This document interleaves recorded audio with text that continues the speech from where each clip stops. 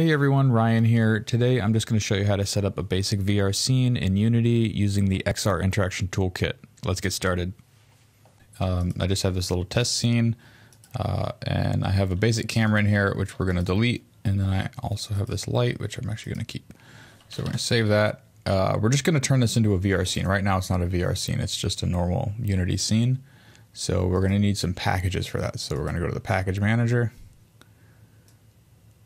we're going to install a couple things. First, we're going to make sure that preview packages is enabled. This is Unity 2019.4, but if you have a newer one, it might be a slightly different way of enabling preview packages in the package manager. So it's just something you got to remember to do before you uh, search for these, otherwise you're not going to find them.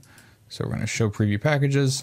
I'm going to just search for XR, and it's going to pull up all the things we need. So we need our XR plugin management, which is actually going to give us a Ooh, there's a new version. We'll try out the new version.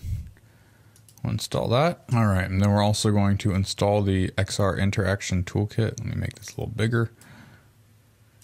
There we go. So you can see XR Interaction Toolkit, and we want 1.0, the newest level or the newest uh, version. March 19th. Yeah, we want the March 19th one. So we're going to install that guy and it's going to ask me to enable the new input system and restart Unity. I'm going to do that manually, so I'm just going to select no for now. We're going to install, and then I'm also going to install the Oculus XR plugin. There's a new version of that too. Let's try that one out. Okay, and one last thing is we're actually going to go back to the interaction toolkit and we're going to install the default actions in the simulator if we want to. And that should be all good in the package manager. Now we're going to go to edit project settings, player. Uh, we're gonna we're in the PC tab here. We want to go to Android. We want to wait for the API level to load. And then we're going to set it to 23, or you could set it higher if you want, but the minimum is 23. Android 6.0 Marshmallow. And then here's what it was trying to do before with the input system. We're going to actually Actually here, before we do that, we're going to make sure we have Oculus enabled in our plugin management. So we're going to click that, Android, click the Oculus button. Uh, we're going to player tab again, and now we're going to reset the input system because we're going to have to restart Unity to do this. That's why it was saving to do it till last. And so we'll apply and restart Unity. Okay, so now we have the new input system enabled, and our minimum API level is set to 23. Okay, so we're all set for Oculus development now. We just need an XR rig. So what we're going to do is we're going to left click in here and go to XR, room scale XR rig action based. It's going to pop this guy into the scene. We can position it down to the floor. There we go. That's how you, I forgot how to rotate. Okay. So we have all that set. And you'll see in here none of these are set for our actual position. Like these are our input actions. Then we need to assign an input action manager to them. Uh, it's a little weird to explain, so I'll just show you how to do it. So we're going to go back here. Actually, before we do that, we're going to say uh, input. This is just for the new input system. This doesn't have to do with the XR rig specifically. Input action manager. Action asset is size 1. And then we're going to put in the default input actions that we installed from the package manager. So I could click that and install it, or if I wanted to, I could just search inside of here to my samples. Let's close all this up just so we can. So we'll go to samples, default input actions, and it's right here. So I can also click that in if I wanted to. Drag it in there. Same thing. Okay, and then you'll see here we have these default left and right controllers uh, action maps, I think they're called, from uh, the input action or from the package that we downloaded. So I'm going to add these to the default. I think this this used to work. I don't know if it still does, but we're adding them to the default, right? Okay, so what we're going to do is we're going to go to project settings, back to the preset manager. Now we'll see two new uh, fields here for the default right controller and left, and we're going to filter those by just putting right in that box and left in that box. I'm still not 100% sure why. I just know you have to do that. Uh, someone please leave in the comments why you have to do that because I don't know. We're going to save the scene again, and now we'll check these. These still haven't been populated, so I'm going to delete this. I'm going to try to put in a new one, and hopefully it works still. If not, we'll just have to do it manually, which might be fine anyway for demonstration purposes. Room scale, XR rig. Expand.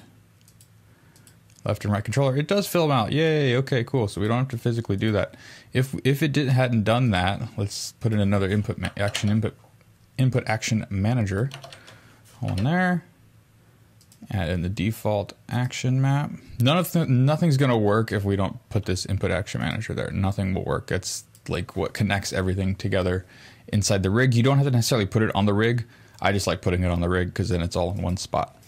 Okay, so we have the controllers there. So if we wanted to, say these weren't populated and we didn't want to do that little trick we did, if we wanted to, we could just get references to all of these things from the action manager. So let's say the position action. I can click this. You'll see in here, inside of our default actions, if you expand it, these are all the things that this that this uh, default input actions knows how to handle. And so we have left hand stuff like turn and press and select, and right hand turn, select and press, all that stuff. That matches up to the action manager or not or I can these names I always uh, kind of forget here.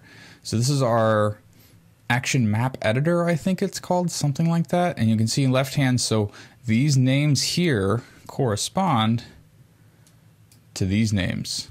And so these are more generic actions, and then you assign buttons to them inside of the action maps. So say the activate, which is the trigger being pulled.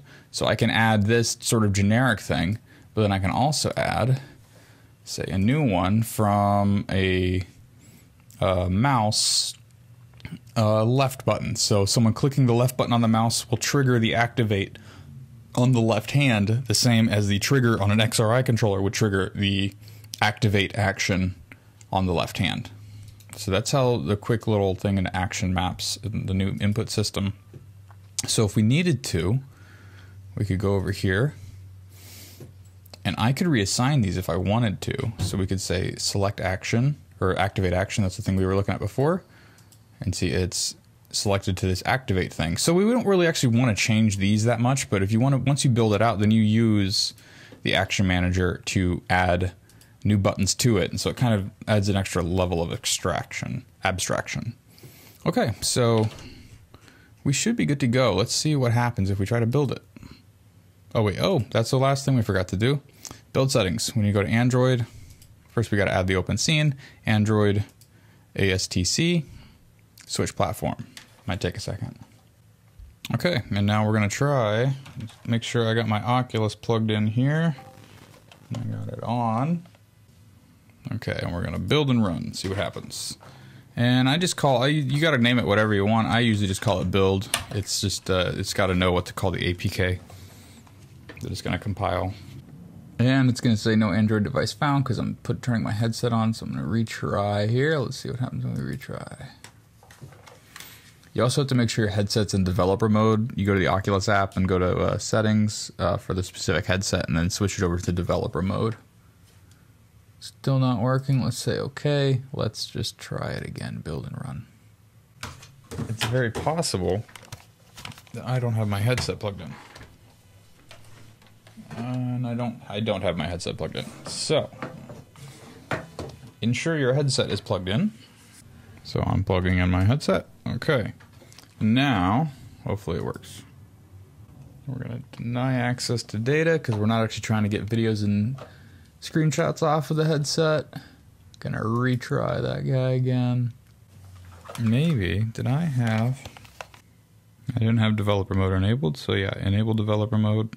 Okay, so we're gonna go to our Oculus app. We're gonna open that up. We're going to connect to our Quest 2. If you need to, you go to devices down here at the bottom. We're to connect to the Quest 2. As it's connected, we're going to click on developer mode and we're going to make sure that's enabled. And as you see here, we're in our uh, little VR space and we got our controllers working. They don't do anything yet, but we'll hook it up so they do. And we got our duck there. He's flapping around. And that's it. Uh, so that's how you set up an XR device um, in Unity. Hope you guys enjoyed. Thanks for watching. Bye.